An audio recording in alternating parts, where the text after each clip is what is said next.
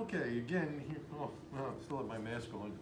This is the exercise on conservation of linear momentum, where we are going to be setting up some collisions between masses. And we know we can measure, if we know the velocity and the mass of each object before and after collision, we can calculate the momentum and the momentum before and after the collision should be the same.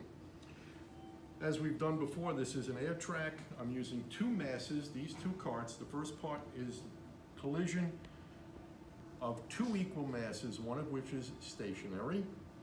I've made sure these two masses are exactly the same. They are 223.8 grams each.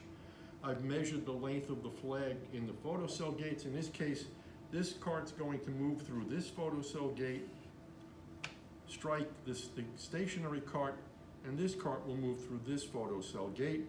And I've already measured the length of the flag, effective length as we've done on the Newton's second law and inclined plane exercises.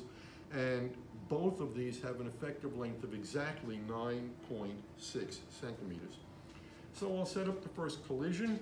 And to make sure I start the same way each time, you'll notice at the end of this uh, air track there's a spring.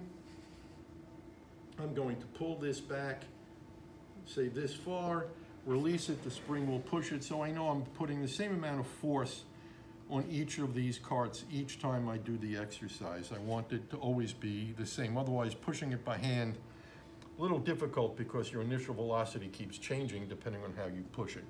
So let's start this and let's see what we come up with.